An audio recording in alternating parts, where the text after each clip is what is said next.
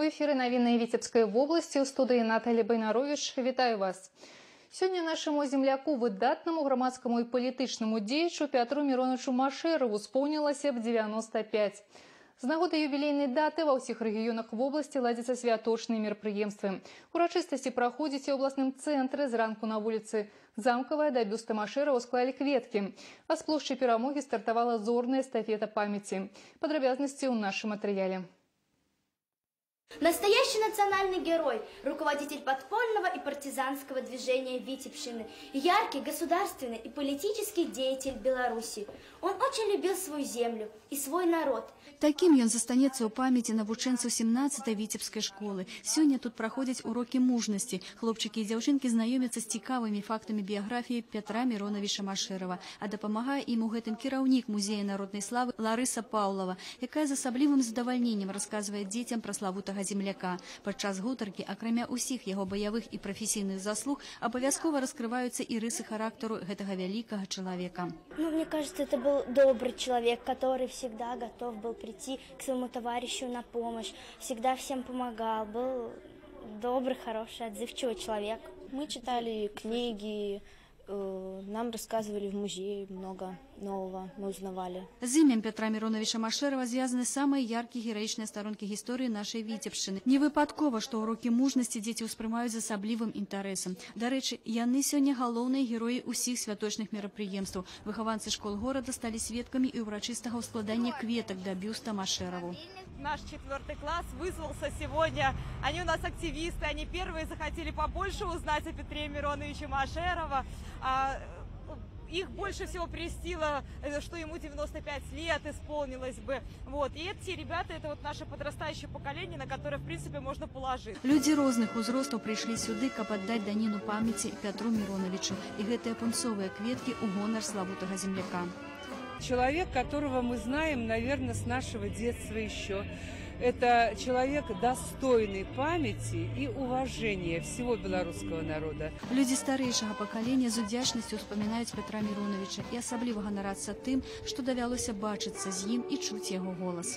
Было всегда приятно его очень слышать, потому что грамотная, толковая, умная речь воодушевляла. Мы его помним еще, когда он э, при, э, прилетал и, и, и косил вместе с косцами. Такой свой, прошедший войну. Но он прошел трудный жизненный путь. Учительство, а потом война. Знаете, во время войны это же самое какие это трудности, а послевоенные, голод, холод, разруха, вот, и надо было восстанавливать это народное хозяйство, это все вот это. И он это сумел, это, как организатор. Такім ён назаўжды застанецца ў памяці людзей добразычлівым і спагадлівым чалавекам з вялікай літары. Інна Кіріенкова Станіслав Дудзін, навіны Віцебск. У полацкім раёне пачалася акцыя наш вясковец прымеркаваная да 75годдзя ўтварэння віцебскай вобласці. На працягу некалькіх месяцаў сельсаветы раёна збіралі інфармацыю аб людзях, якія ўсё жыццё пражылі ў вёсцы. Добрасумлена працавалі, выхоўвалі дзяцей і ўнукаў. Яны не атрымалі дзяржаўных узнагарод і многіх няма ў жывых. Але добрая памяць аб іх справах жывая дагэтуль. У спіс занесены 10 імёнаў у гонар кожнага з іх на месцы, дзе яны калісьці працавалі, будуць устаноўлены памятныя дошкі. Шыльдай клуба спартыўнага покера падпольнае казино. У Новаполацку спынена дзейнасць нелегальнага ігральнага дома. Гэта была сумесная аперацыя супрацоўнікаў дэпартамента фінансавых расследаванняў, камітэта дзяржаўнай бяспекі, управлення па барацьбе з эканамічнымі злачынствамі і амапа. У рукі нашых карэспандэнтаў трапілі аператыўныя здымкі. Каб пачаць аперацыю аператыўнікам прыйшлося чакаць глыбокай ночы. Падпольны ігральны дом працаваў з 23 гадзін да 6 раніцы. Па дакументах камерцыйная фірма арандавала памяшканне для гульні ў спартыўны покер. На самой жа справе пад прыстойным прыкрыццем тут гулялі на грошы. Па дадзеных следчых даход уладальнікаў падпольнага бізнесу складаў ад 6 до 10 мільёнаў рублёў за ноч.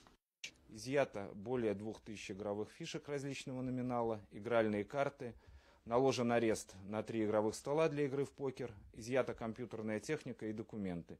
Финансовой милицией Витебской области проводится проверка по данному факту, по результатам которым будет принято решение в соответствии с уголовно-процессуальным законодательством. Клубы спартыўнага покеру з'явіліся ў віцебскай вобласці толькі ў мінулым годзе, аднак уже ў другі раз трапляюць у поле зроку праваахоўнікаў. Так у віцебску нядаўна была прыпынена дзейнасць падпольнага казіно, якое дзейнічала пад шыльдай спартыўнага клуба на працягу чатырох месяцаў у будынку по іроніі лёсу па суседству з раённай пракуратурай.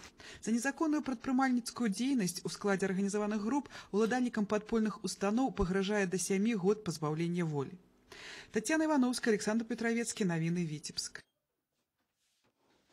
Вусці ракі віцьба знойдзены мёртвыя качкі, як сцвярджае начальнік віцебскай гарадской інспекцыі прыродных рэсурсаў аховы навакольнага асяроддзя Валерый Пандо качкі сталі ахвяры экалагічнай неадукаванасці людзей. Падкормка пералётных птушак парушае працэс іх міграцыі і да таго ж вадаплаўныя могуць самі сябе цудоўна пракарміць. Адаваць ім хлеб і сухары катэгарычна забаронена. Страўнік птушкі ад такой ежы разбухае і прыводзіць да лятальнага зыходу. У католікаў сёння попельная серада з гэтага дня пачынаецца вялікі пост. Ён працягнецца 40 дзён. Па традыцыі вернікі будуць больш часу адаваць, адаваць малітве, чытанню святого пісання справам міласэрнасці. Часцей наведаць богаслужэнні. Прынята таксама ўстрымлівацца ад забаўляльных мерапрыемстваў дрэнных звычак і іншых светскіх задавальненняў. Попельная серада атрымала сваю назву таму, што ў гэты дзень прынята хадзіць на месцу, падчас якой святар на лоб вернікам – освеченным попелом, наносіць выяву крыжа. Два тыдні таму пасаду дырэктара футбольнага клуба віцебск заняў юры камісарам. Да гэтага ён больш за 10 гадоў узначаліў спартыўную дзіцячую юнацкую школу дзвіна. З чаго вядомы спартыўны спецыяліст пачаў сваю работу на новым месцы, На якіх прынцыпах будзе дзейнічаць футбольны клуб абласнога цэнтра, якія задачы ставіць кіраўніцтва ў сёлетнім сезоне, якім чынам можна дабіцца пастаўленай мэты. З новым дырэктарам сустрэўся наш карэспандэнт Сергей Місурагін. З Юрыем камісаравым мы знаёмы больш за 10 гадоў. Заўсёды пунктуальны, настроены на дзелавы лад. Па натуры максімаліст, а таму шмат абдумваў рашэнне наконт прыняцця клуба, заняўшы новую пасаду, адразу вызначыў для сябе прыярытэту працы. Учредитель мне напрямую задачу не ставил. Они понимают, насколько ситуация непростая, но эту задачу поставил себе я сам. То есть я потребовал, чтобы в контракте было четко прописано, если я выполняю задачу, которая стоит перед клубом, выход в высшую лигу и на следующий год закрепление в высшей лиге, вот, тогда я работаю дальше. Если я эту задачу не выполняю, тогда я не вижу смысла в дальнейшей работе своей. Мара любого кіраўніка сабраць калектыў аднадумцаў, каб разумець адзін аднаго з паўслова і эфектыўна рашаць пастаўленыя задачы. Першыя крокі ў гэтым накірунку зрабіў і Юрый камісараў учитывая ситуацию финансовую, учитывая наши реалии сегодняшнего дня, конечно, штатное расписание мы бы урезали, сделали его прозрачным. Останутся работать только те люди, которые работают на благо футбола. Яшчэ адным важным рашэннем для новага кіраўніка сталі трэнерскія назначэнні. У каманду былі запрошаны яе былыя трэнеры Юрай Канаплёў і Сергей Вехцеў. Гэтым спецыялістам лічыць Юрый Камісараў па сілах вывесці клуб у вышэйшую лігу чэмпіянату Беларусі. Я считаю, что тренеры Э, Коноплев и Вехтев, которые работали в прошлом году, они старались, вот, они доказали свою профпригодность. Вот, и искать кого-то на стороне и проходить все заново, то, что мы уже проходили неоднократно, видимо, не имело смысла. Поэтому мы с ними серьезно поговорили о том, чем нам предстоит заниматься и как мы это будем делать. Мы нашли общий язык и будем работать. Зараз галоўным на парадку дня застаецца пытанне камплектавання каманды. Кіраўніцтва клуба і трэнерскі штаб вядуць перамовы з патэнцыяльнымі кандыдатамі. Але працэс падпісання кантрактаў крыху стрымліваюць заканадаўчыя акты, у адпаведнасці з якімі прыйдзецца працаваць у сёлетнім сезоне. А вось што тычыцца месца правядзення дамашніх сустрэч, умовы арэнды і іншых пытанняў дамоўленасць з кіраўніцтвам ЦСК практычна дасягнута.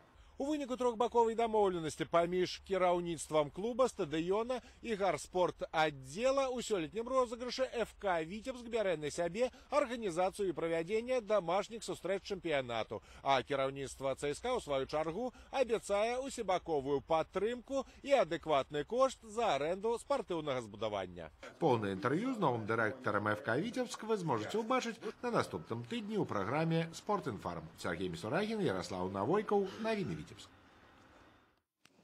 Выпуск навін на гэтым завершаны. Я развітваюся поспехаў у справах і да сустрэчы.